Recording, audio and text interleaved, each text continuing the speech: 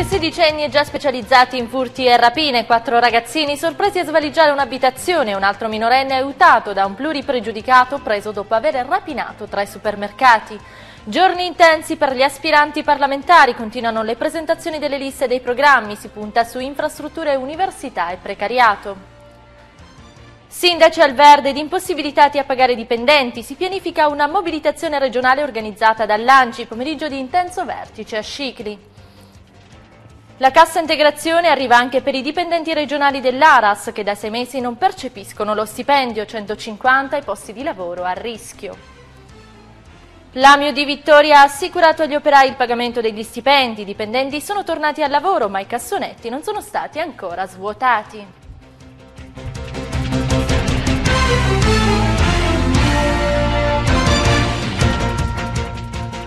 Buon pomeriggio, bentrovati con la prima edizione del telegiornale dalla redazione di Video 1. Apriamo con la cronaca di furti e rapine, una baby gang specializzata nei furti in appartamento, una rumena sorpresa a rapinare e aggredire per pochi euro una connazionale ed infine un pregiudicato con un altro minorenne presi subito dopo aver svaligiato tre supermercati di Ragusa. È l'esito degli ultimi interventi della polizia, ma facciamo il punto in questo servizio.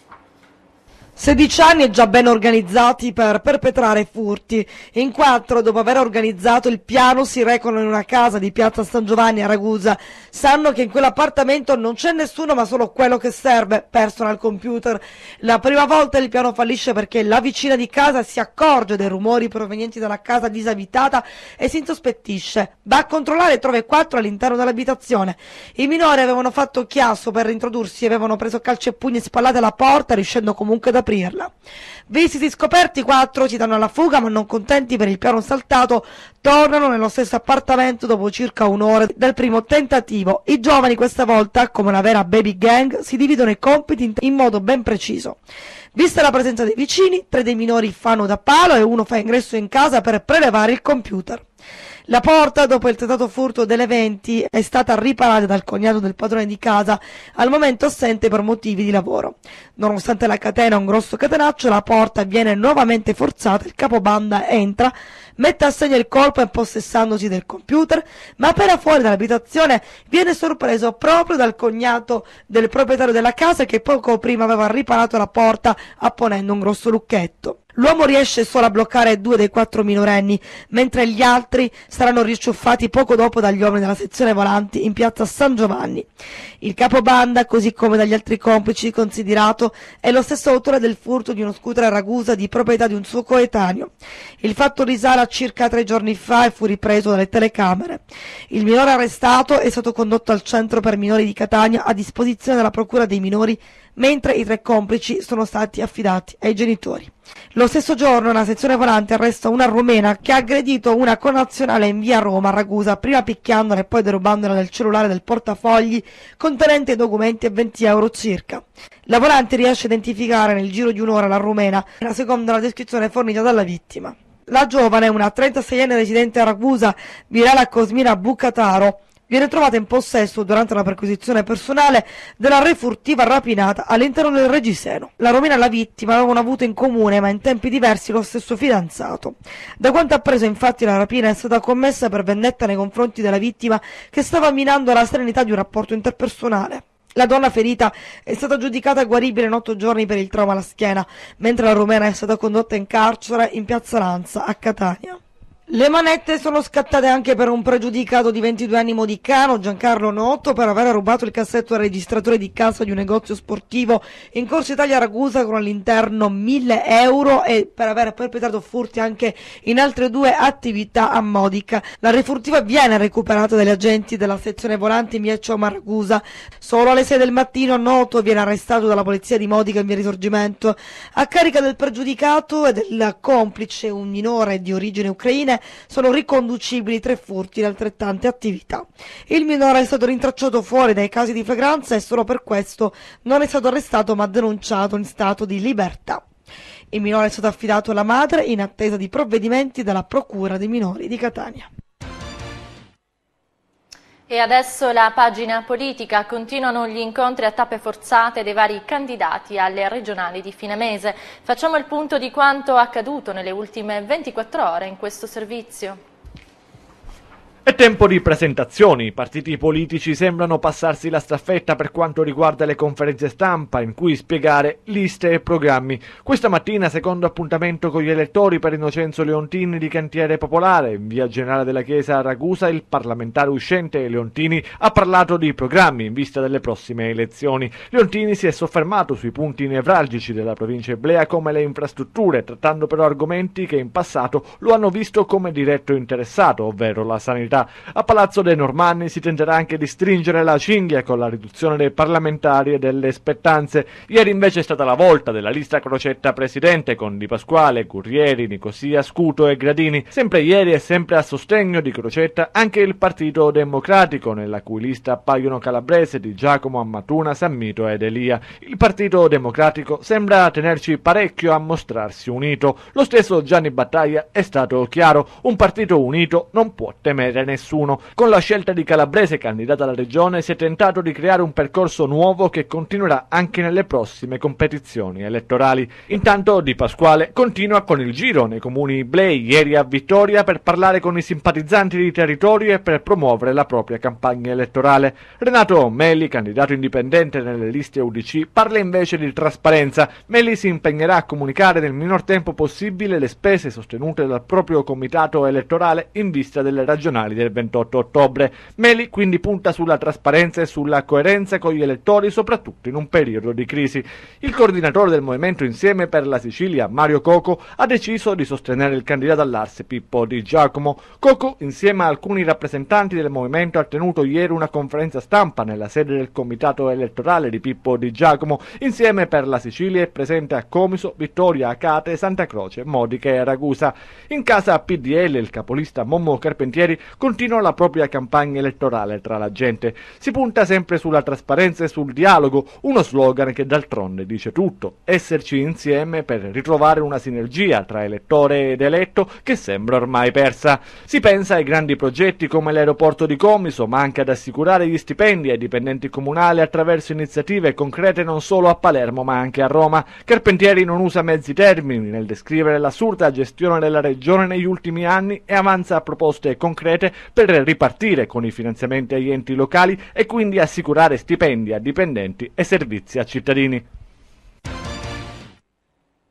Cambiamo argomento e torniamo a parlare del mancato pagamento degli stipendi ai comunali. Una mobilitazione regionale organizzata dall'ANCI. Si vogliono muovere su questo fronte i sindaci della provincia di Ragusa che ogni giorno si trovano contro i dipendenti comunali e dell'indotto appunto per il mancato pagamento degli emolumenti. Nel pomeriggio riunione dei sindaci a Scicli. Vediamo.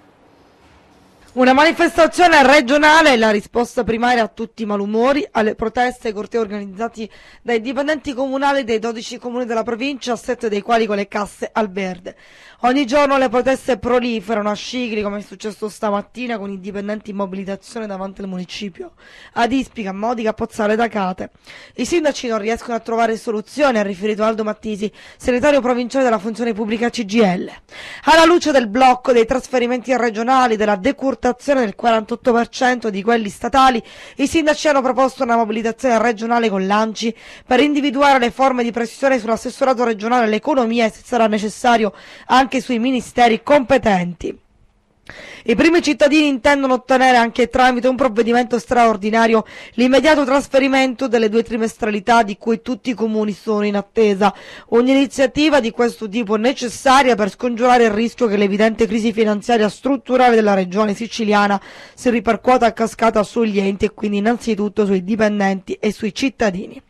L'assessore al bilancio del comune di Modica, Santino Amoroso, non ha portato notizie positive per gli enti da Palermo circa lo sforamento del patto di stabilità da parte della regione che ha determinato un gravissimo allarme, si legge nella lettera, per il prossimo futuro, oltre a fronteggiare le situazioni di emergenza che in molti dei comuni siciliani si stanno determinando a seguito della mancata erogazione dei trasferimenti ordinari.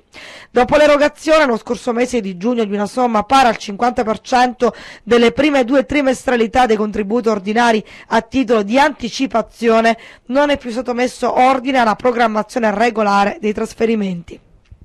Il comune di Scili continua ad essere presidiato, mentre alle 17.30 il sindaco Franco Susino ha convocato tutti i sindaci della provincia e il commissario straordinario Scarso che però ha fatto sapere di non essere presente e di avere delegato il suo vice Puglisi. Oggi Susino renderà noto un documento stilato il 7 giugno e che potrebbe trovare d'accordo i sindaci che oggi parteciperanno all'incontro per fronteggiare l'emergenza economica negli enti locali. La cassa integrazione arriva anche per i dipendenti regionali dell'Aras che da sei mesi non percepiscono lo stipendio. 150 posti di lavoro a rischio nello stesso ente a livello regionale, 20 soltanto in provincia di Ragusa. Sentiamo i dettagli.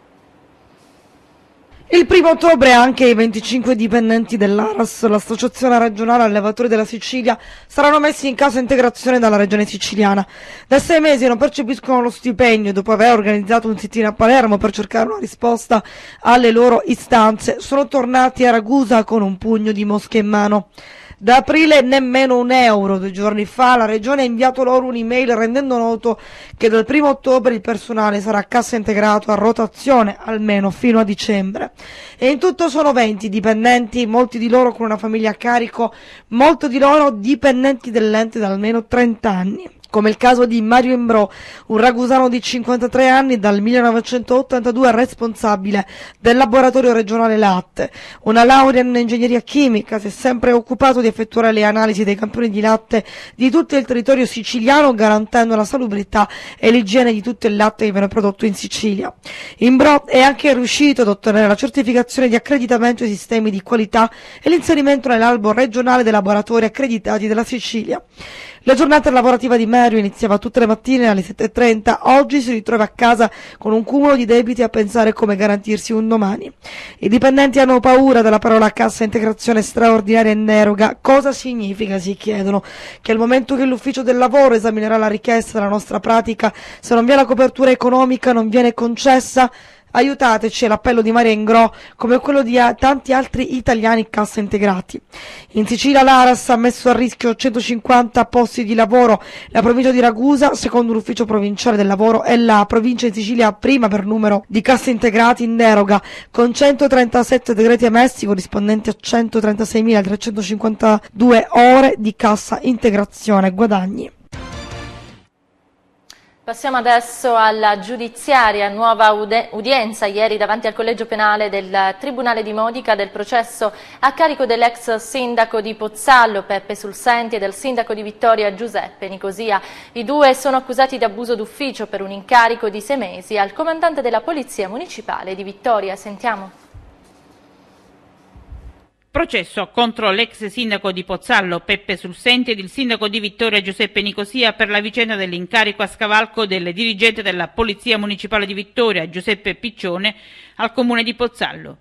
L'inchiesta avviata dalla Procura di Modica per abuso d'ufficio si è conclusa con il rinvio a giudizio e ora si sta celebrando il processo.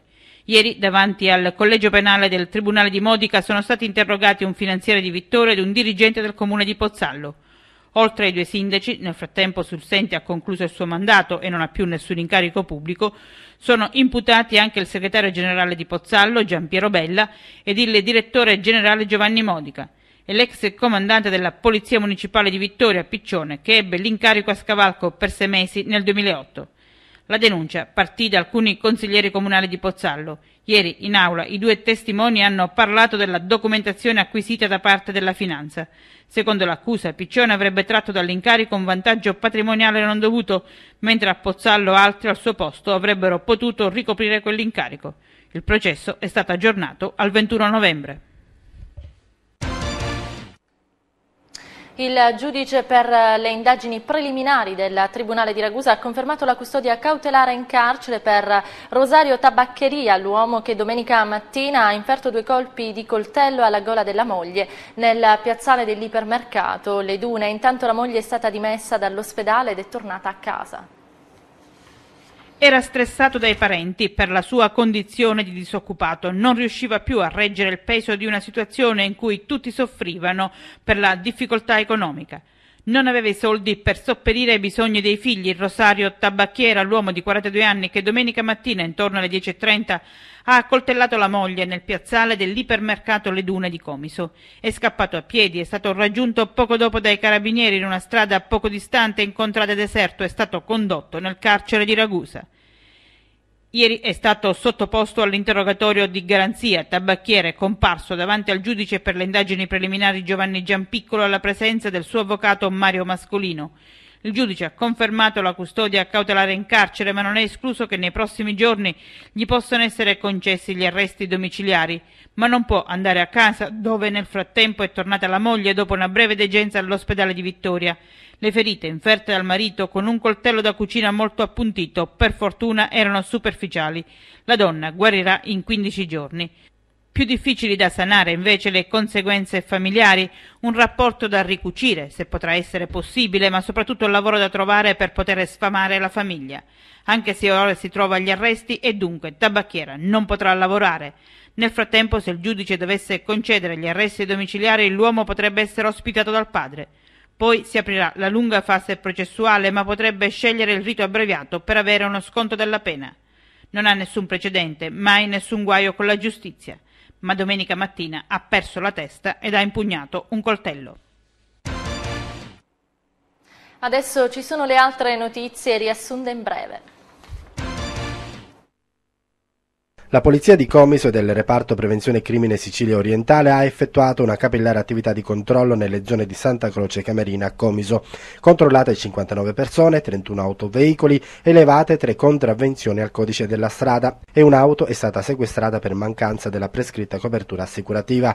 I controlli sono stati estesi a 15 persone sottoposte agli arresti domiciliari, 11 sorvegliati speciali. Sono inoltre state effettuate due perquisizioni domiciliari sono stati impiegati dieci equipaggi di polizia che hanno perlustrato le zone centrali dei due paesi al fine di prevenire e reprimere qualsiasi reato predatorio. Diventa definitiva la condanna a tre anni di reclusione e la multa di 800 euro, oltre l'interdizione dai pubblici uffici per cinque anni per Ignazio Rimmaudo, vittoriese di 31 anni arrestato in flagranza di reato nel settembre 2010 per la rapina al Monte dei Paschi di Siena, in concorso con altri due soggetti era agli arresti domiciliari ed è stato condotto in carcere dai poliziotti della Volanti di Vittoria in esecuzione di un ordine per la carcerazione emesso dalla Procura della Repubblica di Ragusa, non sussistendo i requisiti per la prosecuzione degli arresti domiciliari. Il giudice per l'udienza preliminare del Tribunale, Maria Rabini, ha rinviato a giudizio con l'accusa di omicidio colposo aggravato il modicano GT di 40 anni.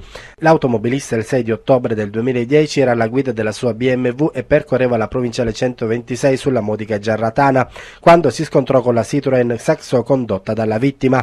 Dalla indagine è emerso che l'indagato, un bancario rimasto fortunatamente solo contuso, procedeva ad una velocità circa di 82 km orari, superiore a quella massima massima consentita. L'imputato dovrà comparire davanti al giudice del dibattimento il prossimo 18 di marzo.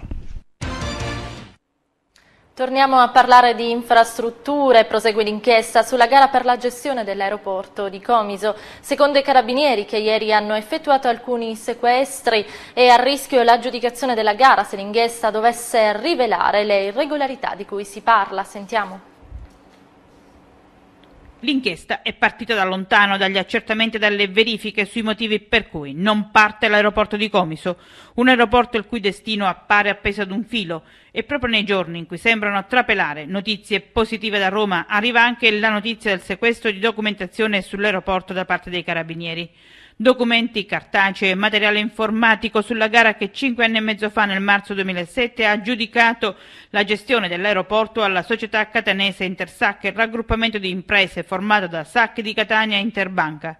Intersac si aggiudicò il 51% delle quote di Soaco, la società di gestione dell'aeroporto, la cui certificazione sta per essere completata in questi giorni.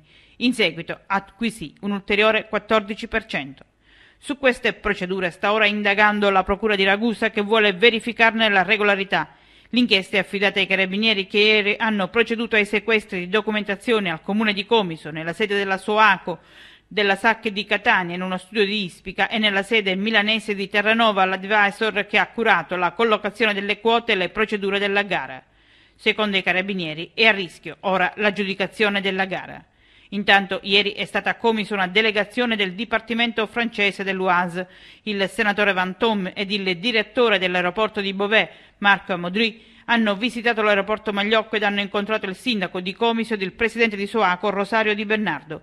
Allo studio l'ipotesi di collegamenti tra Comiso e l'aeroporto parigino di Beauvais, dove si privilegiano i voli low cost in gran parte gestiti da Ryanair, lo stesso vettore che, stando al piano industriale, potrebbe essere interessato a volare da Comiso. E a Vittoria l'Amio ha assicurato agli operai il pagamento degli stipendi. I dipendenti sono tornati al lavoro ma i cassonetti non sono ancora stati svuotati in molte zone della città e questa sera saranno tutti alla seduta consiliare convocata per la liquidazione dell'Amio. Sentiamo i dettagli. Spazzatura ancora nelle strade. Il problema della nettezza urbana si è risolto solo in parte a Vittoria. Nel giorno più atteso per i lavoratori dell'Amio, questa sera si svolge la seduta consigliare che deve decidere la liquidazione dell'azienda. I cassonetti sono ancora pieni in varie zone della città e restano il simbolo di una situazione di difficoltà non ancora risolta. Gli operai ieri sono tornati al lavoro dopo aver ricevuto assicurazioni sul pagamento degli stipendi entro fine mese, con un acconto già questa settimana, ma contestano le scelte che sono state operate dalla Giunta e su cui il Consiglio deve pronunciarsi. Chiedono che resti in vita un'azienda pubblica magari con partecipazione del privato ma che permetta di salvaguardare il loro posto di lavoro e la situazione di dipendenti di azienda pubblica. Non ci stanno a transitare nelle fila di un'azienda privata. Intanto l'emergenza dell'azienda, senza soldi e con mezzi ormai vetusti, le difficoltà dettate anche dal blocco per due giorni della discarica di Gela a causa dei mancati pagamenti, si riversano tutti sulla città. La spazzatura abbonda nelle strade, gli operai fanno il possibile, ma lo sguardo di tutti è ormai rivolto altrove, ad un futuro carico di incertezze, anche se l'amministrazione comunale ha assicurato che i loro contratti saranno garantiti dalla nuova ditta cui sarà affidato l'appalto.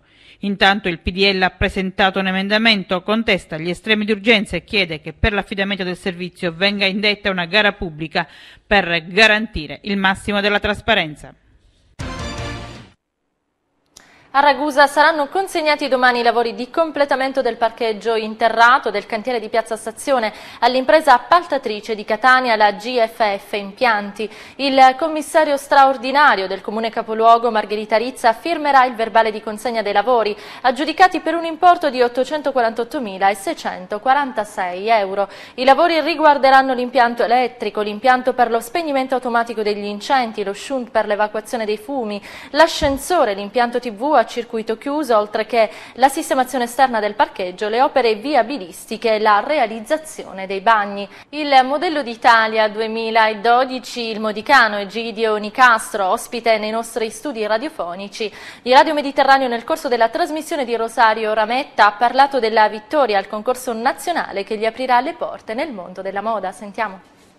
Modello d'Italia 2012, sono contentissimo e che dire, Come spero di proseguire questa esperienza con qualcosa di più concreto. Allora, questo titolo adesso che cosa ti aspetti da questa esperienza, da questo titolo appunto arrivato, Mister Italia 2012? Allora, Qual è la tua ispirazione? Eh, ho letto che hai fatto anche il provino per il Grande Fratello, è vero? Sì, sì, l'anno scorso però, all'edizione 2011. Quest'anno mm. è stata molto più ristretta e quindi no, non c'è stato quello... il provino del Grande Fratello. Ho capito, sì, infatti. Ci sono è... stati altri casting cinematografici e cose varie. Va. A te piacerebbe fare l'attore? Ma perché no, sì. Il campo dello spettacolo sì, praticamente. Sì, studiare appunto dizione e recitazione. Ho avuto molti complimenti, diciamo, da, da amici, parenti e anche qualche fan appunto ha, ha voluto partecipare a questa mia premiazione, quindi viene a complimentarsi io ne sono più che contento. Bene, ancora complimenti a Egidio Nicastro. Noi adesso parliamo degli appuntamenti in programma per il fine settimana, l'Open Day dello Sport, sabato 6 ottobre a Modica. L'evento è promosso dall'Avis e avrà lo start-up alle 19 in corso Umberto, da piazza Monumento a piazza Corrado. Rizzone, diverse associazioni dilettantistiche si esibiranno in performance sportive. In piazza Matteotti, in due stand, sarà possibile acquistare con incassi devoluti in beneficenza l'arancino della salute ad 1,50 euro. 50. L'evento intende sensibilizzare giovani e meno giovani alla pratica dello sport e all'importanza della donazione del sangue. Con questa notizia termina il telegiornale di Video 1. L'appuntamento con l'informazione torna alle 19.30. Grazie per l'attenzione buon pomeriggio.